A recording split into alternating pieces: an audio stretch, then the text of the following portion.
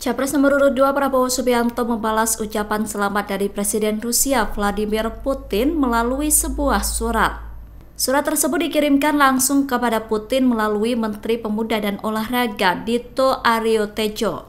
Surat tersebut kemudian diserahkan Dito kepada Menteri Olahraga Rusia Oleg Matistin saat bertemu di Kasan, Rusia pada Rabu 21 Februari lalu.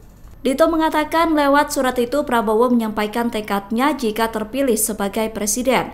Prabowo bertekad akan memperkuat hubungan Indonesia dan Rusia. Selain itu, Indonesia juga ingin mendorong berbagai kerjasama di bidang cabang olahraga. Dito mengatakan ketika menerima surat dari Prabowo, Menteri Olahraga Rusia merasa terhormat.